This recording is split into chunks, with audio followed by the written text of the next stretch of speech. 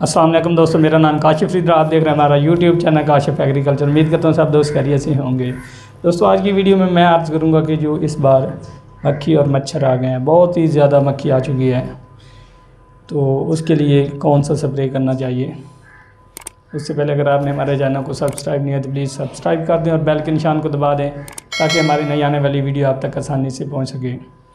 دوستو، جو مکھی اور مچھر کے لیے اس بار سوات ایگرو کے پاس ہے، وہ ہے فنڈونا کے نام سے۔ اگر وہ آپ ایک مطلب ایک بار کر دیتے ہیں، پھر آٹھ دس دن کے وقفے سے دوبارہ کر دیتے ہیں، تو انشاءاللہ بالکل مکھی اور مچھر کے صفایا ہو جائے گا۔ اور جانوروں کے نیچے بھی کر دیں تو وہ جو چیچڑ ہوتے ہیں، وہ بھی ختم ہو جائیں گے۔ تو یہ پروڈکٹ بہت ہی زبردست ہے، کیونکہ آج کل مکھی کا پریشر بہت ہی زیادہ ہے۔ اتنی مکھی آ گئی ہے کہ بندہ سوچ بھی نہیں سکتا، آرام سے بیٹھا بھی نہیں جاتا۔ گاؤں میں تو زیادہ تر بیٹھا بھی نہیں جاتا، اتنی زیادہ مکھی اور مچھر ہے۔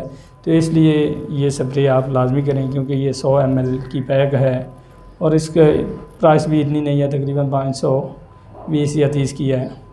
تو یہ آپ لے کر اپنے مطلب کمرے میں ہیں تو کمرے میں کریں۔ مطلب باہر کسی جگہ پہ بیٹھتے ہیں، جس جگہ پہ بیٹھتے ہیں، جہاں پہ مکھی زیادہ ہے، وہاں پہ کریں۔ انشاءاللہ بالکل آپ دیکھیں گے کہ مکھی اور مچھر سے آپ کی بالکل جان چھوٹ جائے گی۔ یہ بہت ہی زبردست اور بہت ہی اچھا پروڈکٹ ہے۔ یہ لازمی آپ ٹرائی کریں۔ کیونکہ مکھی سے بہت زیادہ بیماریاں پھیلتی ہیں۔ دیکھیے کھانے میں ایسے جب ہماری کھانے پینے کی چیزوں پہ یہ بیٹھتی ہے، ہم وہی کھاتے پیتے ہیں، تو ہمارے اندر بیماری تو پیدا ہوگی نا۔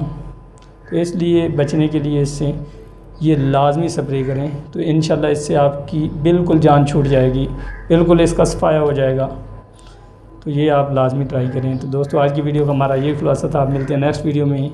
کیونکہ بہت زیادہ گرمی تھی، اس لیے ہم نے وہ کچھ دن ویڈیو نہیں بنا سکے اور کچھ میری طبیعت تھوڑی اپ سیٹ رہی ہے۔ تو انشاءاللہ آپ ویڈیو ہم بناتے رہیں گے۔ تو دوستو، آپ ملتے ہیں نیکسٹ ویڈیو میں، تب تک اپنا خیال رکھیں